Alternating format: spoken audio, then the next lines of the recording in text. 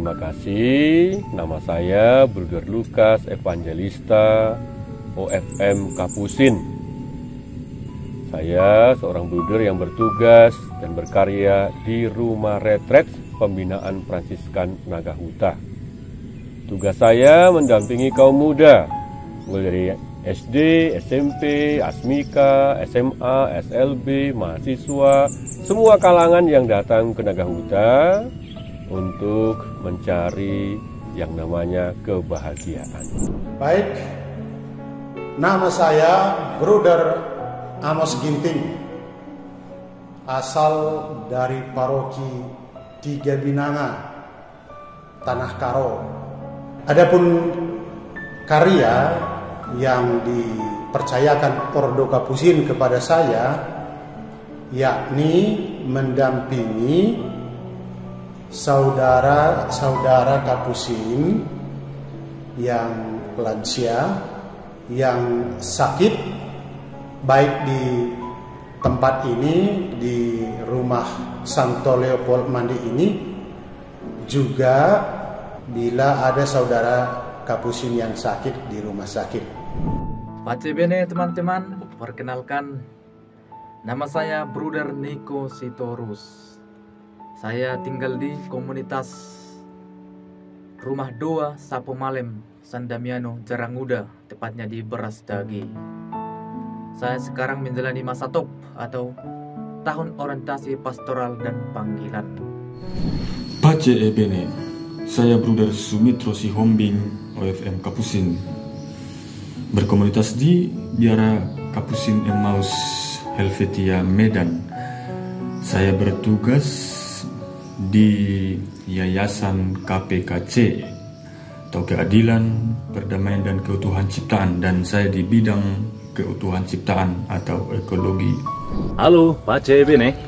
Nama saya Bruder Gino Spayung, sering dipanggil Bruder Gino. Saya berasal dari Seribu Dolok, Paroki Seribu Dolok dan sekarang tinggal di komunitas Bagan Batu dengan karya perkebunan kelapa sawit karya kategorial Ordo Kapusin Provinsi Medan. Hai semuanya Pace Ebene, perkenalkan nama saya Bruder Indra Alexius Tamba OFM Kapusin. Saya berasal dari uh, Paroki Santa Lucia Parilitan, Keuskupan Agung Medan dan sekarang sedang menempuh pendidikan di sebuah universitas di Kuala Lumpur, Malaysia.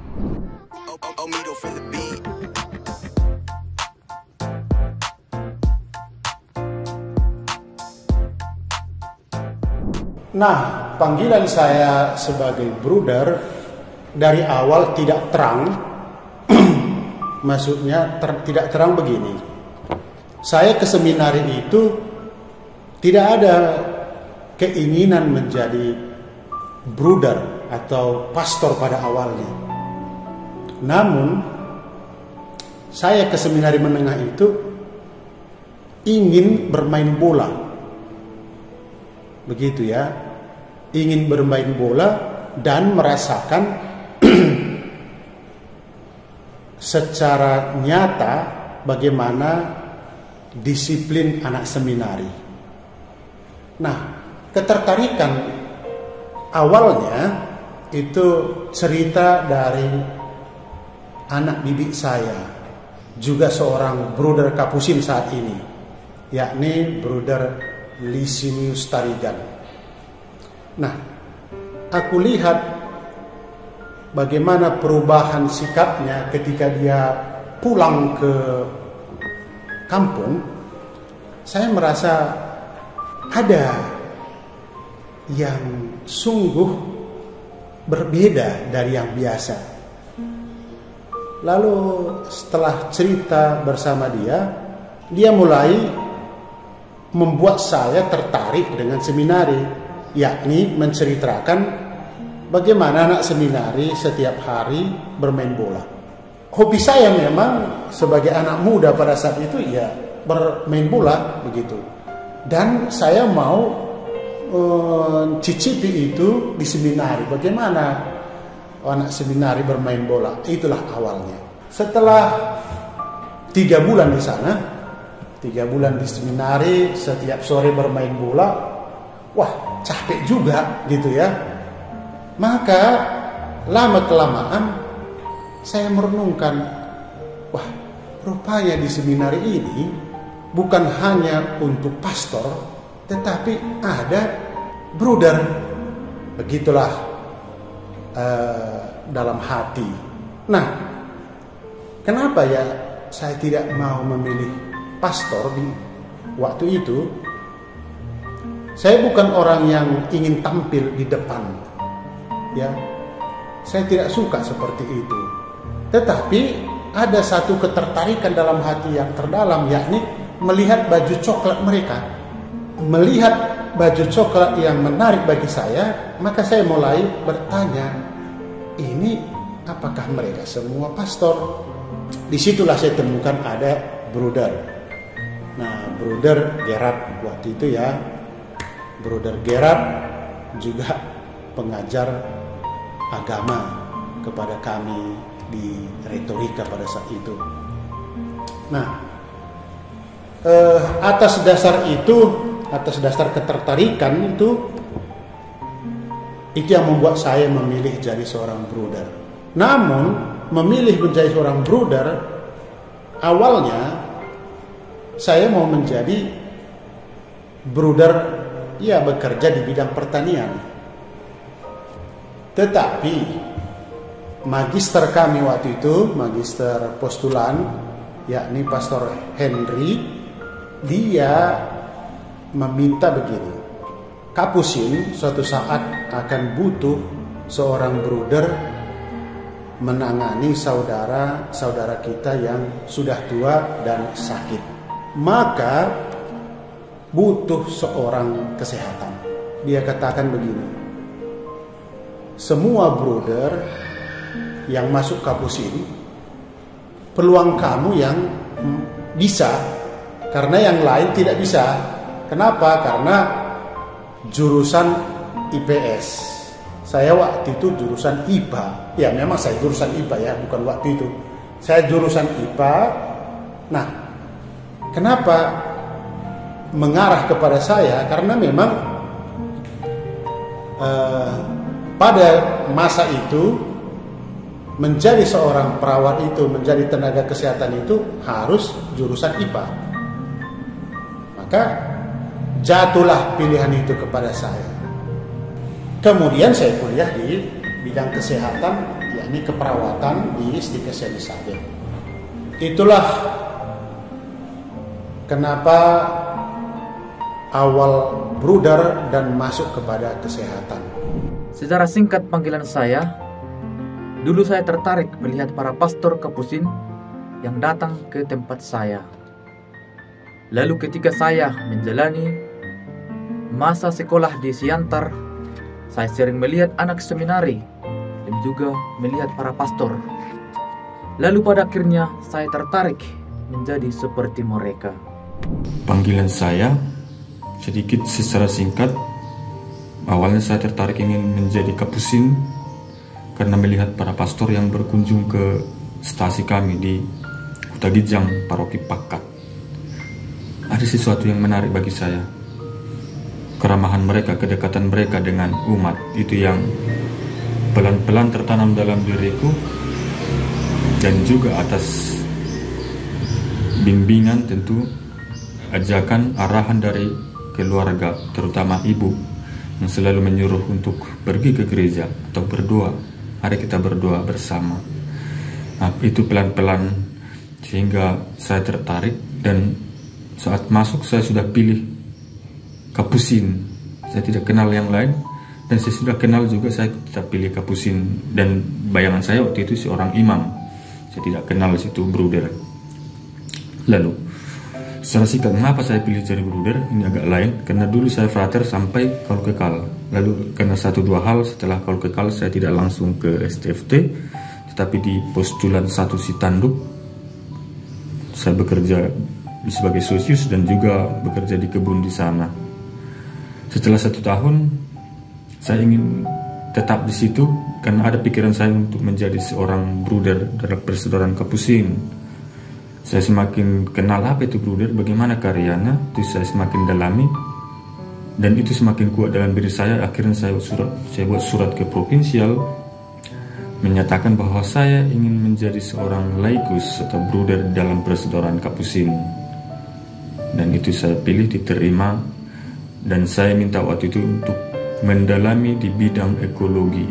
Maka saya kuliah di Jogja ekologi bagian ilmu lingkungan saya terpanggil menjadi seorang biarawan ketika saya sebenarnya muncul sejak SD ketika saya menjadi mesdinar. Saya sering ikut pastor pergi jalan-jalan ke stasi.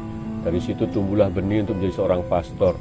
Kemudian saya sekolah di sekolah menengah pertanian. Saya bukan dari seminari menengah, tapi dari sekolah negeri, lulusan pertanian.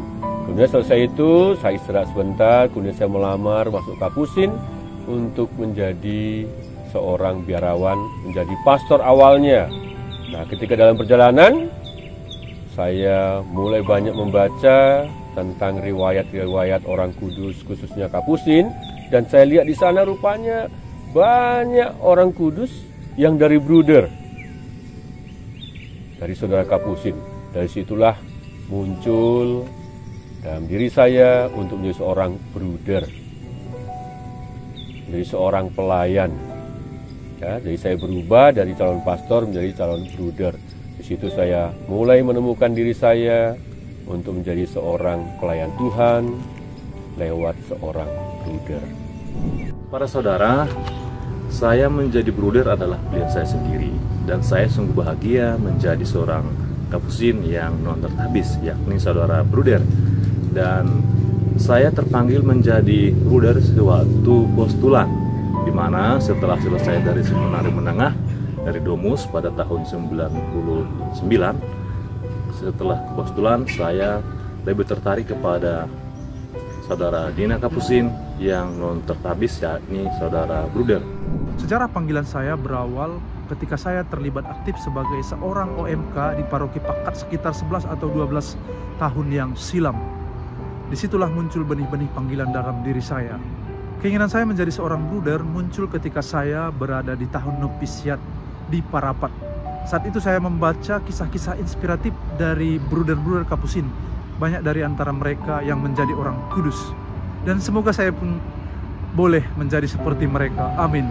Namun karena berbagai pertimbangan, saya memendam keinginan itu dan melanjutkan pendidikan saya di jenjang filsafat, top hingga tahun persiapan kekal atau TPKK. Di masa TPKK itulah muncul kembali niat saya untuk menjadi seorang bruder setelah mempertimbangkan banyak hal.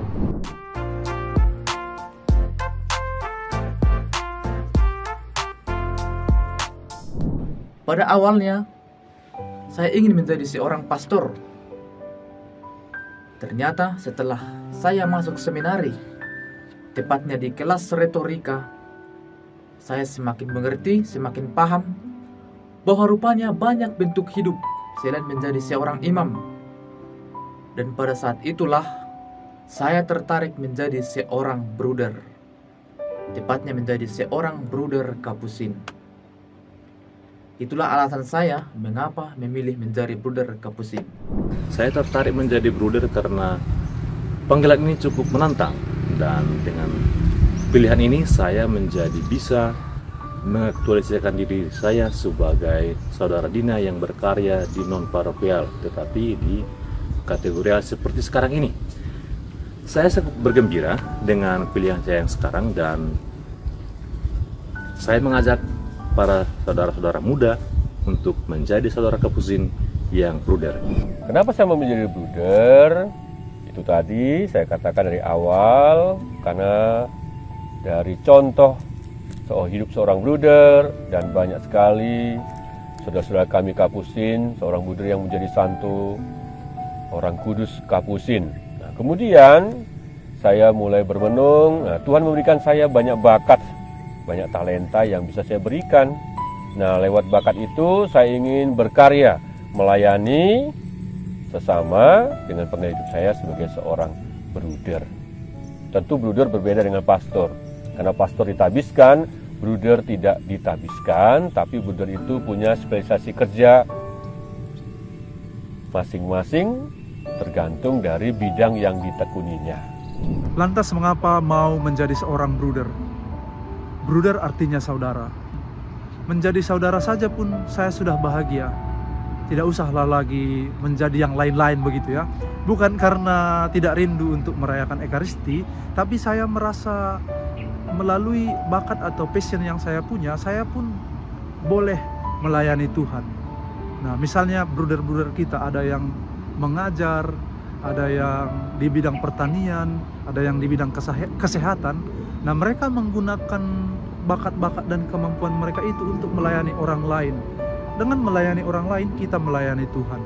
Nah, tentunya banyak pro dan kontra ketika saya memilih menjadi bruder, tapi so far saya merasa bahagia dengan jalan ini dan semoga saya bisa setia menjadi seorang saudara kapusin. Saya tertarik menjadi kapusin. Tetapi saya tidak suka tampil di depan. Nah, itulah yang mendasari saya, wah, saya ini bukan seperti itu yang saya mau. Saya mau menjadi kapusin, tetapi bekerja tak usah seperti itu.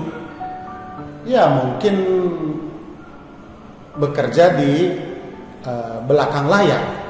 Nah, itulah maka saya memilih menjadi uh, seorang bruder dan akhirnya memang Ordo mempercayakan saya menggeluti kesehatan yakni memperhatikan saudara-saudara yang sakit maupun yang sudah tua.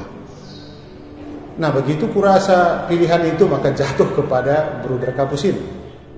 Lalu, mengapa saya memilih menjadi seorang bruder? Karena dulu saya seorang frater sampai kaul kekal tahun 2018. Lalu karena satu dua hal, waktu itu saya ditempatkan di postulat satu Sitanduk sebagai cocius dan juga bekerja di kebun.